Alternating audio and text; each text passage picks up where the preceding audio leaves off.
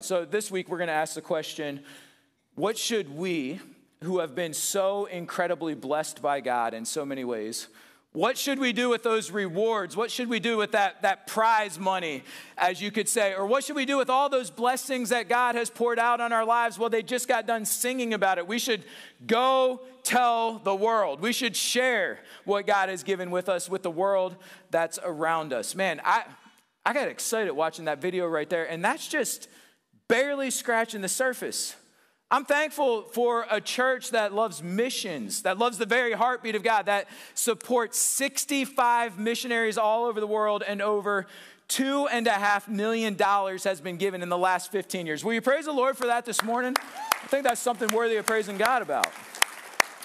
I'm thankful for all of the churches that have been started all over the world. I'm thankful for all of the orphanages, the schools, the Bible colleges, the um, Bible clubs, I'm thankful for um, surgical centers. Uh, Matt and Delita, I was just talking to them last night. They, they, they were in the States for about a month and they just got home. And I said, Did you get settled back in? And they were like, Yeah, with a surgical team that's down here working out of that surgical center on their property. Um, they're busy. They're, they're, they're literally being able to offer physical healing, but better than that, spiritual healing. I'm thankful for the hospitals that have been started all around the world, the good that God has been doing. But greater than any of that, the literally thousands of people that have been saved that you and I have been able to be a part of by giving by just sending people to go where we can't go, by being consumed with getting the gospel of Jesus Christ to a world that's in desperate need of it. Um, I, I got to share a few other highlights that didn't make the video, some of my favorites. One of my favorite mission stories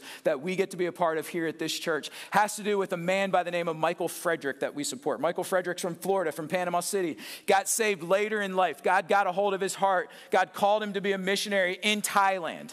So he ends up in Thailand. He plants a church, is pastoring a church over there. Well, a man by the name of Thomas Britton, who is a 22 year old college graduate, leaves England on holiday. Before he starts off with his life, he's going to go on a year long holiday. Why, by the way, who would like a year long holiday? That sounds really nice right now. Anyway, so he, gets, he ends up in Thailand and he ends up in a, a nightclub, something like that. I don't know what it was exactly. Uh, and there is this beautiful woman that's singing, and he falls in love instantly. And three weeks later, he's married to this woman who speaks only Thai and he speaks only English. Now, how many of you think that that is not a good recipe to start off in life in a marriage, all right? Through a series of circumstances, and some unbelievable situations. Obviously, they, they got married, probably shouldn't have, yeah, not probably, they shouldn't have that that early. I mean, I don't know how they were even talking or communicating. They end up getting married through a series of circumstances. They get saved, and lo and behold, guess whose church they end up in? Michael Frederick's church. Fast forward 15, 20 years, Thomas Britton's life totally gets changed upside down. His wife's life gets totally changed upside down. God lays a burden on his heart to go back home to England, to the city that he grew up in, Market Harborough, and he's sent out of a church that we planted in Thailand.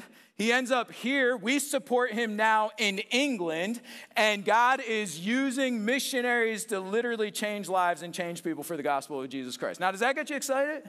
That's an awesome, yeah, praise the Lord for that. That's awesome. Another one um, that I was thinking about this morning is a Christian school that's called South Pacific International Academy, and it is in Papua New Guinea. And it was started by missionaries that we have supported for 15, 20 years now Matt Allen and his wife Becky. We also support their mom and dad. I wish I could, we could just take a whole Sunday and talk about what God's done in Papua New Guinea. It's been absolutely incredible. But one of the things they've been able to do recently is start a Christian school in Port Moresby, which is the capital city of Papua New Guinea. And I saw Matt earlier in this year. He was um, here in the States at Pensacola Christian College recruiting teachers to go teach in this school, which teaches all English which teaches the Abeka curriculum, which is a biblically based, Christ centered curriculum. And Matt told me while we were talking, he said, Mike, it would not surprise me if one of the future presidents of the country of Papua New Guinea was currently enrolled in our school. Some of the most influential leaders in an entire nation are sending their children to a school that has been started by a missionary that's teaching not just English, but that's teaching a biblical worldview Does that not get you excited? Just thinking about the power of the gospel and what God can do through missions? And then, last but not least, I could go on all day. We could spend the entire morning talking about this, but the India Project. Remember, we introduced that video. We, we, you all, as of today, we have currently given a little bit over 40% of our goal already. And tomorrow, we are sending a total of $50,000 over to India. We're sending 35,000 from our church, which is just a couple thousand more than we've given to this point. And then another church is sending another $20,000 and they're going to begin to build the third story of that. So by the time they start their new term in June, they're going to be able to add more students who are being trained to go plant and start churches in some of the most difficult, closed countries in all of the world, places that you and I could never get into. But because we support missions and because we give sacrificially, men and women are being chained to take the gospel to literally some of the most remote parts of the earth where it's illegal to preach the gospel, and people are going to be saved and lives are going to be transformed. Will you praise the Lord this morning for what God's doing all over the world?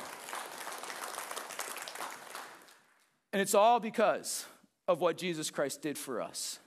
And it all goes back to the motivation that should be in the hearts of every single one of us. Man, I, I don't know about you, but when we think about the goodness of God, it ought to explode out of us where we want to do everything we can in and of our power to reach as many people as we can with the gospel of Jesus Christ. And guess what? Romans 5 ties perfectly in with this. The title of the message this morning is this Go Tell the World. And in our passage that we're going to conclude, we're going to go with the second part of the argument that Paul started last week. In this passage, Paul wants to push our thinking deeper. I'm glad we're in a passage like this on the night after an extra hour of sleep because we need to be alert and paying attention because Paul's trying to stretch our thinking. He wants us to understand the basis.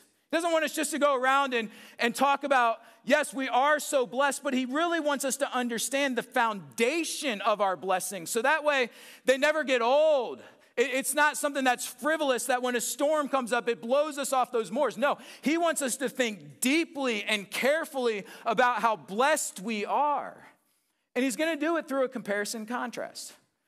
Because of one man, Adam, who sinned, death passed upon all men. Because of one man, Jesus, who lived a righteous life and went to a cross and died, all men can be saved. All men can experience the righteousness of Jesus Christ. On the surface, for some people, that sounds pretty simple and easy to take in and understand. For really inquisitive people who question everything, they might go a little deeper and say, How is that even possible? How, how am I guilty because of one man? How can I be righteous because of one man? Paul covers all of those bases. And in this passage, he's not only going to answer some big questions, he's also going to tell us why this matters. And as a result, the answers are not supposed to just make us feel good about who we are in Christ, but they ought to motivate us to go tell the world about Jesus. So, who's ready to dive right in? There we go. Okay, let's dive right in. All right, here's first point. Go tell the world. The first thing that we have to understand is death dominates. First point is very sobering death dominates. Look at verse 12. It says, Wherefore, as by one man sin entered into the world, and death by sin, and so death passed upon all men, for that all have sinned. Right off the bat, we have a huge theological principle that's being taught here. The whole human race is related to one human head, and that human head is Adam. Adam was the first man. And when he sinned in the garden, the punishment for sin, which was death, it didn't just affect Adam, it affected the entire human race. The damage done by Adam's sin affects every human being in every place, in every single time. Now, this is a concept that even children understand. I had a mom come up to me the other night after church on Wednesday and it just happened to be the morning after Halloween. And she told me a funny story about her child that morning who woke up and she, she had to get him out of bed early and he didn't want to get up and he didn't want to go to school. And she heard him in the room while she was getting ready saying, Dumb Adam, dumb Eve, dumb apple. Why do we have to get up? Why do we have to go to work? Now, we laugh at that, but how many of you have been there before? Anybody just like got really mad at Adam one day and said, How could you have done this to us? I mean, on a basic level, we understand this. Even kids are able to grasp and understand this concept. What Paul's teaching right off the bat, what we have to understand when we're talking about death dominates, we lost before we even started. We lost before we even started. We aren't born righteous. And then, if and when we sin, we lose our righteousness. That's not how it works. We're not born perfect. We're not born good. The Bible tells us the exact opposite. We are born in our we are born dead in our trespasses and sins. And yet, what is a very prevalent philosophy that's out there in our world today? If I live a good enough life, and if my good outweighs my bad in the end, I don't see that there's any way that God's not going to let me into heaven. And the Bible tells us an exact opposite story. There is none good, there is none righteous, no, not one. We are born dead in our trespasses and sins. Going through life and trying to prove your righteousness is like trying to beat a casino. Alana and I were in Las Vegas a week ago. From the time you step off the airplane into the airport, you are met by slot machines everywhere you go. Now, I don't know about you, if you've ever been to Las Vegas, and if you've ever been on the strip, and if you've ever been inside of one of those casinos, they're incredible. They absolutely are. They are elaborate. They are ornate. They are their, uh, uh, their own world to itself. I mean, you could get lost inside of just one single casino, and they are lined up down the strip, one after another. Anything that you want to experience in this world, right there at your fingertips. And I don't know about you, but that ought to tell us something that that's your money, not my money. I've never done that, okay? That's somebody's money that's building that. Okay? You, you lose before you even started. And on a basic level, we all know that. I, I Googled it for fun. I said, um, How much money does a Las Vegas casino make? And the very first response that came up was so good. The very first caption was this Sin City always wins. I mean, think about that from a spiritual aspect, too, by the way. Sin City always wins. A Las Vegas casino can make anywhere from, on average, from 1 million to $10 million per day. We're not winning. now, Satan is good. He throws out enough, he throws out enough gifts. He throws out enough things to lure us in, enough prize money to tempt us and to keep us coming back for more. Just this morning, I was looking at a news, a, a, a news app, and I saw on there that a man at the Excalibur Casino in Las Vegas won $12.2 million off a slot machine. And we're talking about this was on WEAR's website, okay, in Florida. That's gonna suck people in. When you walk by a slot machine, you're gonna think, oh, I can put in $5, $10, and I might strike it rich. And you know what? Every now and then you might land on getting a little bit more than you put out. But in the end, who wins? And who wins every single time? And that's the reality. You can spend the rest of your life trying to prove how righteous and how good you are, but in the end, we are broken and we know that we are sinners and we know that our righteousness amounts to nothing but filthy rags before a holy and righteous God. Death dominates. Now, Paul doesn't finish the sentence that he starts in verse 12. If you notice at the end of verse 12, you'll see a colon. And he's not going to pick this sentence back up until he gets to verse 18. So before he just moves off of this, we might think, oh, we've, we've covered this point, we've got that down. Paul's like, no, no, no. We need to dig in a little bit deeper. We need to go a little further, make sure we fully grasp what we're talking about here. Look at what he says in verse 13. He says, For until the law, sin was in the world. But sin is not imputed when there is no law. Paul answers a question that he anticipates people ask, asking. And here's the question How can somebody be guilty of breaking a law that they didn't know was a law? It's a fair question, right? Can you be guilty of breaking a law that's not even written necessarily or that you don't even know what it is? How can we be guilty? How can we be losing before we even get started? How can we be born into this world broken? That's even a bigger question that's, that's at stake here. And so he asks that question. He gets us thinking. And then in verse 14, he answers it. He says, Nevertheless, death reigned from Adam to Moses. He's pointing out here, obviously, when Moses came, the law came, God's law came, which made it very clear what you had to do in order to have a relationship with Jesus and to have a relationship with God. And Paul's saying here that obviously from Adam to Moses, people died. So that means that sin was in the world. Well, look where he goes on and how he continues in that verse. So, nevertheless, death reigned from Adam to Moses. Okay, sin was in this world.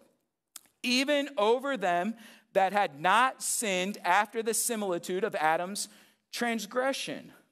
What he's saying here is that death is not first and foremost about our own sinning against God's law, but about what happened in Adam. Okay, again, the main point here is you lost before you even started.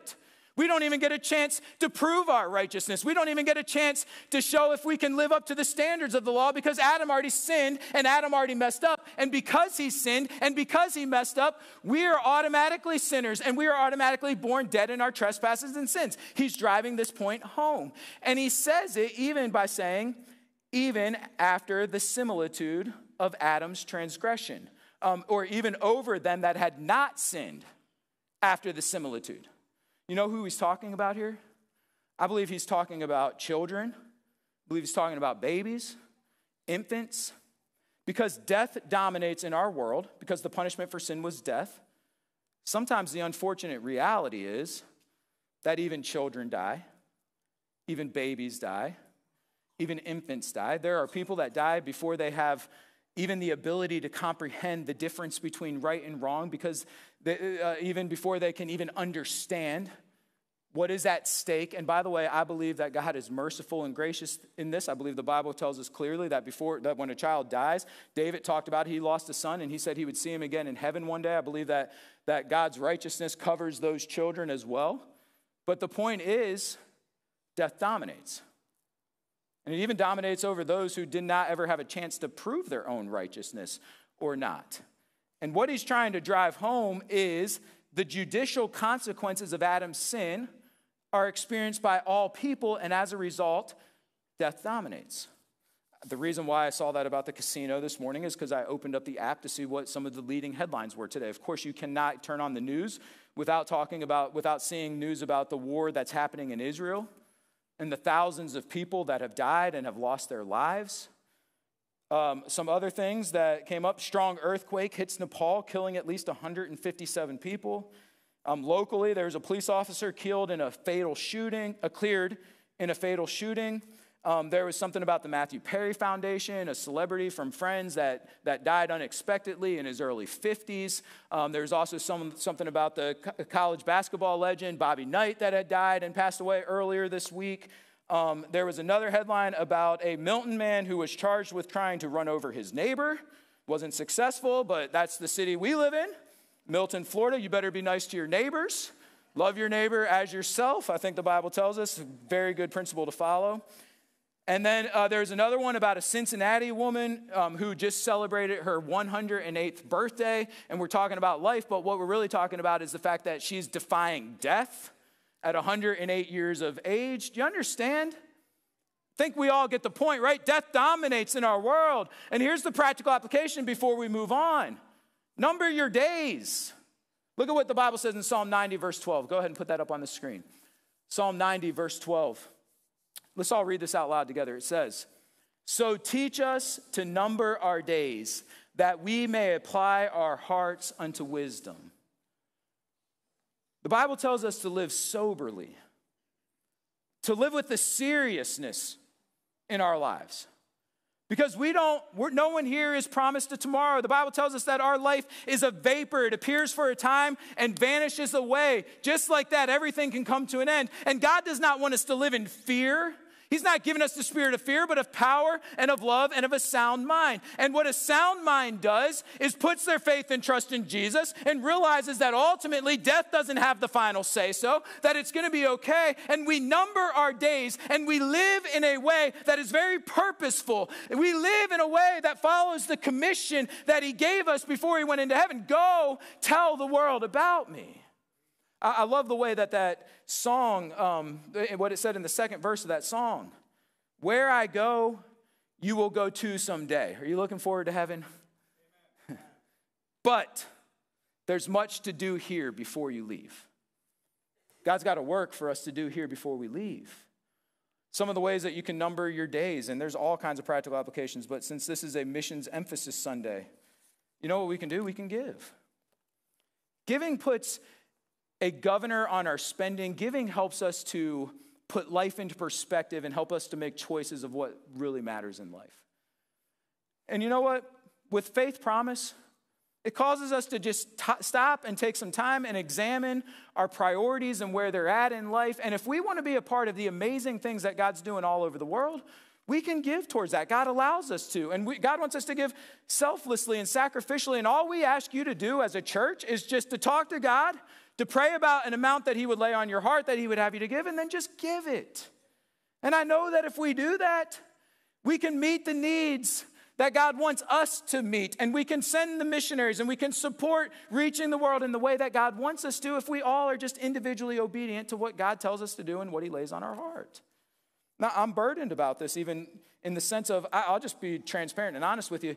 God's been blessing our ministry in incredible ways, and everything has increased and everything has grown. But guess what? Missions has stayed kind of stagnant in our church for the past five to seven years.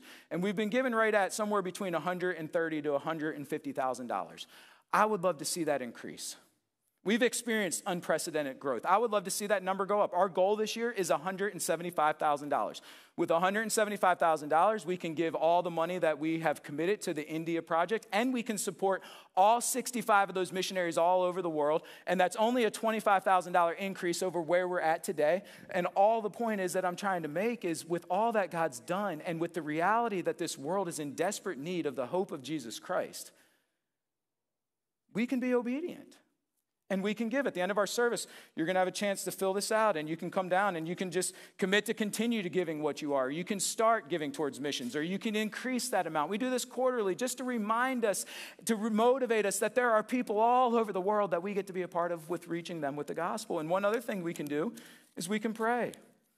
Something we haven't done in years here, and we're going to do it again today at the end of the service. You can adopt a missionary for your family. My brother Dan was here a few weeks ago, and he's a missionary in Madagascar, and he mentioned on that day that he would rather have a thousand churches that pray for them than a thousand churches that give towards them. And the reality is, money's not an option with God. God provides for his work. Of course, he does it through us, and we get to be a part of what he's doing. But prayer, is what ultimately makes a difference. And so we're going to give you and your family an opportunity to come down at the end of the service, pick one of these envelopes up. Inside of these envelopes is a missionary family that our church already supports, and you and your family can adopt them. And you this this will give you a letter that will tell you how you can communicate with them, some conversation starters, how you can be a blessing to them. And throughout this next year, you and your family can get to know one of our missionaries intimately. And by the way, if all of these envelopes are taken, then all 65 missionaries are being prayed for and they're being known intimately by people that are in our church, and we can be a part of what God is doing all around the world. And the point is just number your days. Man, what better thing to teach your kids about than people who are willing to take their lives and use them for the cause of Christ because He's worth living for, and He's worth dying for, and He's worth giving towards, and He's worth all of our hearts and soul and mind and our strength. So, number your days. Secondly, not only does death dominate, are you ready for some more positive news here? Jesus obliterates. Jesus obliterates. He utterly destroys. He wipes out. We get a setup that's coming at the end of verse 14. At the end of verse 14, there's a little phrase. It says, Who is the figure of him that was to come? As soon as we clearly see that our sin nature goes back to Adam disobeying God, we can then see the parallel to Christ. All right, just like we are all related to Adam in his sin, we can all be related to Christ in his righteousness. Because Adam sinned and we're guilty, because Jesus was righteous, we can be righteous. That's the point of what he's talking about. But then look at how he starts verse 15. He says, But not as the offense, so also is the free gift. And essentially, what he's saying right there the free gift is not like the offense. Okay, there's a comparison. Adam was the first man, Jesus was the last Adam. There's a comparison. They were both men and they're both representatives of the entire human race. But the free gift is nothing like the offense. I brought something to help us understand this in this bag right here. I've got some mini frosted chocolate covered donuts. Any of you like these little Debbie donuts right here? Okay, there's some hands going up. If you know anything about our family, you know that these are everywhere at Christmas. Anytime our family gets together, my dad goes and buys these or the Entenmann's donuts. And quite frankly, I'm just going to be honest with you, these things are not good. These are cheap. They're covered in a wax like chocolate. Let's be real here. And whatever's inside of that is pretty crunchy and stale, all right? But I still can't walk by one of these because it's nostalgia. It brings me back to my childhood. This is my whole life right here. I love these little guys, especially the chocolate ones. They're way better than the white powdered ones, okay? So we got donuts right here. Ah, but look at what if I pick up this box and I bring this one out right here? It's exactly what I was hoping for. Many of you know?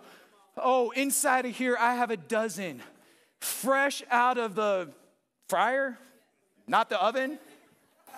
Fresh out of the fryer this morning, I stopped by Milton Bakery. I basically had that place all to myself this morning. I got 12 chocolate covered glazed donuts in here, which I, will argue, I'll fight you about this. I believe these are the best donuts in the entire world. Now, how many of you believe that I have chocolate covered donuts and chocolate covered donuts? I thought about taking them out and eating one in front of you, but I didn't want to torture you all like that this morning. But how many of you agree that what's in here is nothing like what's in here. Yeah, some of you raised your hand, some of you are nodding your heads. They're the same, but they're not the same at all. And that's the point of where we are going. Yes, Adam is our representative in sin, and Jesus is our representative in righteousness. And they're both men, and they are both the head of the human race in one area or not. But there is something completely and fundamentally different about the righteousness of Jesus Christ than the sin nature that we have in Adam. And so, what this point is under here, it's shock and awe. What we're about to go through here is shock and awe. If you know anything about that term, it's a military term. Overwhelming power and spectacular displays. That's what shock and awe is all about. So, in these verses, you know what we have? First thing we have is shock and awe. God's grace is certain. Look at what he says in verse 15. But not as the offense, so also is the free gift. For if through the offense of one many be dead, everybody, what are those next two words out loud together? Much more. Let's say that again. Much more the grace of God. When he's talking about more here, he's not talking about quantity, he's talking about certainty. If you are certain that because of Adam, we are all sinners, which all you got to do is open up your eyes and look around the world and you will know. Look inside. We know we're broken. We know that death dominates. And if we're certain that because of Adam, we are all sinners, then you can be much more certain that the grace of God that is available through Jesus Christ is available to you in your life. I got a question before we move on Is God fair? Is God fair? I think we have to ask this as we're going about this. Is it fair that I've lost before I've even started? Is it fair that I'm not born with the same chance that Adam was given when he was created? Can I just tell you that God, in his sovereignty, he knows all things and he does all things well. And if the prototype of all humanity was perfect and placed in a perfect environment with only one temptation and he still messed up, I guarantee you that every single one of us in here would also mess up as well. Instead of getting mad at God and questioning God for the fact that death reigns and death dominates in this world, how about the fact of God's genius and the fact that because of one man's sin, all die, but because of one man's righteousness, we can all be saved? How about the goodness of God that is seen in his divine design of how he puts this all together? How about the shock and awe that God's gift abounds to many? Look at the very end of verse 15. He says, For if through the offense of one many be dead, much more the grace of God and the gift by grace, which is by one man, Jesus Christ. Everybody read those last four words out loud with me. Hath abounded unto many, which is by one man, Jesus Christ, the gift by grace, and it hath abounded to many. The gift of God's grace is available to any and all who will receive it, any and all who will believe it. And can I tell you this morning that judgment is not God's ultimate goal for the universe? Man, again, instead of questioning God and why is he allowed sin and why is he allowed death, hey, it was our decision. It was our fault. It's our rebellion against God. And in spite of that, and in spite of the fact that we deserve every bit of the punishment that we should get, we don't have to take it because judgment is not God's ultimate goal for the universe. His glorious grace is. He's provided a way of escape that's available to all who put their faith and trust in him. His gift abounds to many. It gets better. Verse 16 shock and awe. God's gift obliterates all sin, it wipes out all sin. Look at verse 16. It says, And not as it was by one that sinned, so is the gift. For the judgment was by one to condemnation. But the free gift is of everybody, those two words out loud many offenses unto justification. It makes perfect sense that one sin would deserve the punishment and the judgment that it gets. Let's go all the way back to the garden. God was very clear Adam, in the day that you eat of the fruit of the tree of the knowledge of good and evil, you will die. Adam ate of the fruit of the tree of the knowledge of good and evil. It's absolutely understandable that what was spelled out clearly, if there's a rule and a law that is given and you violate that rule or the law, you deserve judgment and you deserve the punishment that you get as a result. That's something that is understandable. oh, are you ready for this? The gift is not like the sin. If one sin called for condemnation, then many sins should call for a greater condemnation, right? One sin deserves condemnation. Many sins deserves all the condemnation, all the wrath, all the judgment of God that you could possibly imagine. But nope, that's not what this verse teaches. The free gift is of many offenses, a large but indefinite, indefinite number. So what that means is no matter how great your sins, no matter how many your past sins, God's grace is greater and his grace and his righteousness completely obliterates all sin, many offenses. He doesn't put put a number on it because the number is infinite and it's endless. And it doesn't matter who sins and how great you sin, God's grace is great enough to forgive every bit of that sin. And then, last but not least, my favorite, shock and awe, you reign over sin. Look at verse 17. For if by one man's offense death reigned by one, what are those next two words? Much more. They which receive, what are those next three words? Abundance of grace and of the gift of righteousness shall reign in life by one Jesus Christ. By one man's sin, condemnation came, by one man's righteousness. He says, much more, by the way. Okay, much more, they which receive abundance of grace and of the gift of righteousness shall reign in life. What this verse is teaching is that God's grace delivers us from the rule of death so radically as to enable us to change places with it, to reign over it, to dominate it. Instead of death dominating, the grace and the righteousness of God dominates. We just got done with our men's retreat this past weekend. You may see a lot of our men wearing those um, It's Personal shirts from the challenge that we had. One of the things, what do you do when you get a bunch of guys together at 11 o'clock at night when there's a curfew? You whip mattresses out of the rooms and you have a big wrestling match wasn't quite as good as last year. Last year, man, the hype was a lot better, a lot more action. But this year, we still did it. It was mostly teenagers out there wrestling. We were having a great time. All the dads were in there, all the waivers were signed. Don't worry about any of that. What could possibly go wrong, right? Anyway, so we're in there wrestling, and what's interesting is you get a bunch of guys, it's late at night, there's a lot of excitement. And when someone is dominating the other person, when they throw them down and they're on top and they're in a dominating position, when the person on the bottom is able to escape and the roles are completely reversed, that's when everybody erupts and it's like, oh, yeah. That's exactly what happened on the cross. Death had us pinned, death has us dead to rights. We've lost. There's no way out. And then the gift of God's grace comes and it enables us to reverse the roles. And now we're on top and we're in the dominating position and we can conquer everything that life throws our way, not because of us, but because of who Jesus is. That's the truth of what we're talking about here. So, the practical application reign in this life. Reign in this life. Hamish gave a perfect testimony and had no idea where we were going with this. Obliterate despair. We beat ourselves up.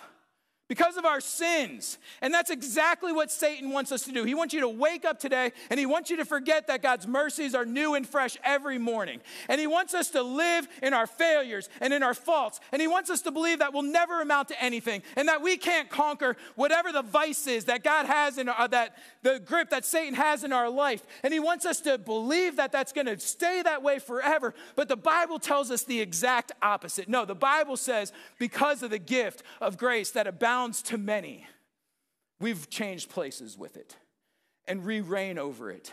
And the best thing that we can do is we can look Satan in the eye and say, You're right. I am a sinner and I don't deserve God's grace, but I have it. And my God and Savior Jesus Christ is greater and bigger and stronger. And I'm a new creation in Jesus Christ. And get up and live in that and reign over your sin. Man, one of the challenges we heard yesterday God can turn it around. He absolutely can. Your situation is not impossible. Your demons that you deal with in your personal life, they are not greater than the grace of God. They are not greater than a conquering, resurrecting power that raises from the dead. You want to find hope in the gospel? Look directly at Jesus Christ and look at the power of God that lives inside of you. And look at that situation and say, by God's grace and for God's glory, I'm going to get up and I'm going to live in the righteousness of Jesus Christ and I'm going to see God deliver me a victory. That's what we have in Jesus Christ. He obliterates. Oh, he doesn't just dominate, he obliterates the competition because that's who our God and Savior is. And it all ends with this death dominates, Jesus obliterates, grace liberates. He gets back to 18 and 19 and he sums it all up. Therefore, as by the offense of one judgment, of one, judgment came upon all men to condemnation. Even so, by the righteousness of one, the free gift came upon all men unto justification of life.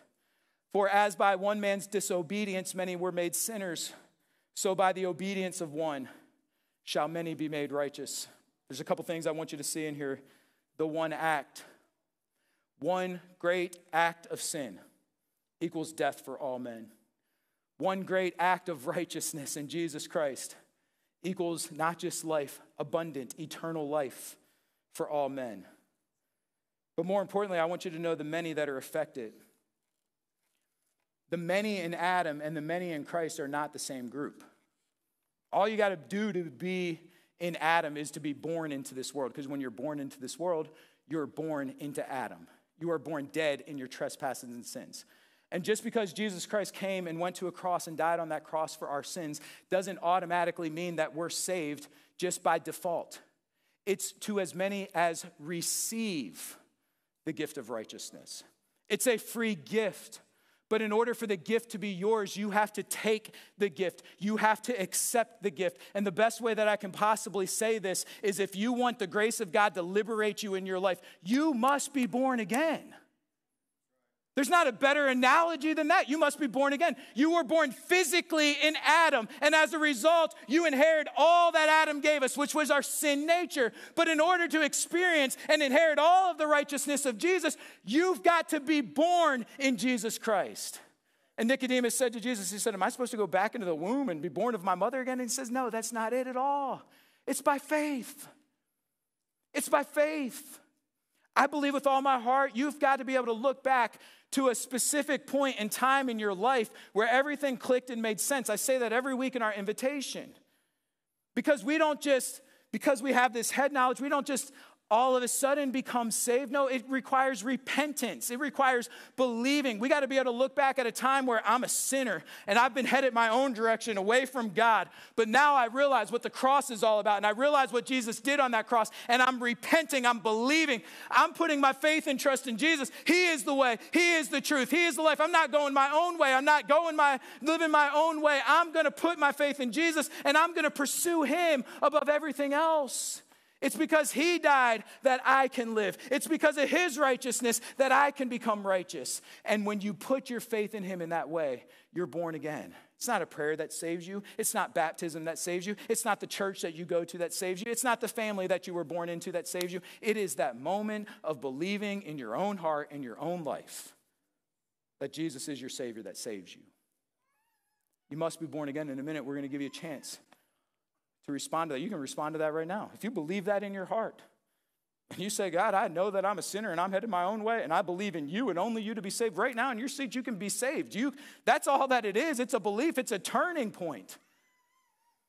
But the last thing that I want to challenge our church with is this love righteously. Love righteously. Look at verse 20. Last practical application. It says, Moreover, the law entered that the offense might abound. You know why the law was given? So that we would know just how dreadfully sinful we are. That's what it says. The whole reason why God gave us the law is so that we would know that we're sinners and that we're imperfect and that there's none righteous, no, not one. The law was given to increase the offense.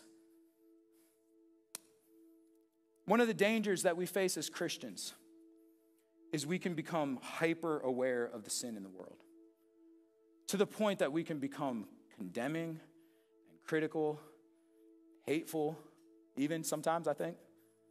I think even Christians, there's sometimes we get hateful attitudes towards people in this world that do things that we consider to be unrighteous, and we might not even consider it. The Bible considers it to be unrighteous. I'm not trying to minimize that there's there are there is sin, there is evil, there is wickedness in our world today. It is prevalent, it is everywhere. And I think we should hate evil, and we should hate sin, and we should hate the consequences of it, but not the people themselves. Because you know what that verse ends with? Everybody look at it. Verse 20. Moreover, the law entered that the offense might abound. But where sin abounded, grace did much more abound. Our position as believers in Jesus is not to look at the world with a condemning, critical eye, saying, How could it be so wicked? And how can these people get away with it? And man, they deserve every bit of punishment that they get. Do you understand? You and I deserve every bit of punishment that we can get. And that's not the way that God's in heaven looking at this world. No, missions is the very heartbeat of God. For God so loved the world that he gave his only begotten Son, that whosoever believeth in him should not perish but have everlasting life. Right now, death dominates, but grace can reign in this life. If you and I, as God's children, adopt the same heart that God has, and we look at this world with compassion, and we look at this world with look at this world with the same heart and mindset that God looks at it and we look out and we say, yeah, it's awful, it is wicked, it is corrupt.